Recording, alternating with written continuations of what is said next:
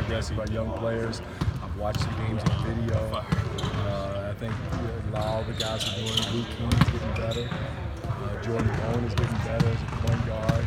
Uh, and Sekou is getting better. He's had some excellent moments. You know, and again, the key is the mentality of the guys going there not feeling like it's punishment if they're not there. It's it's the best thing for them. I, I, you know, I can show them a lot of in that. So, but again, just keeping in contact with them, that's a big part of ours is their development, getting better.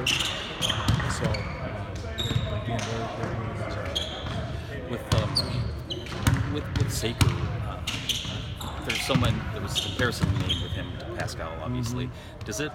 Would, would you use that as an example to those No, guys? not really. They're different people. Pascal's motor, he has an elite, elite, not a, not a good motor, elite motor.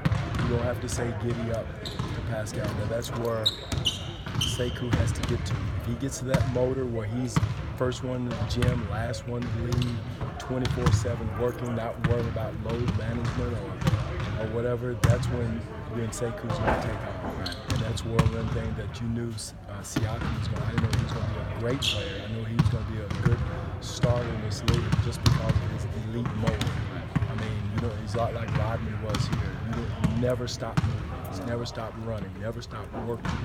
So uh, that's that's the difference in Siakam and a lot of players in this league.